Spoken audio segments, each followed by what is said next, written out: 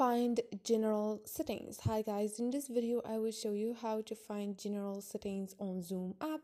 All you need to do is go to your zoom and click on general. And here guys you did find your general settings. You can here turn on or off hide sensitive information when switching tasks. Also you have ringtones. Here guys just click on those three points and you will find those settings and click on general. And this is it. This is how you find these settings and this is it guys. Hope this video was helpful for you. It's so easy and quick. If this video was helpful for you don't forget to subscribe and like the video. And see you on the next video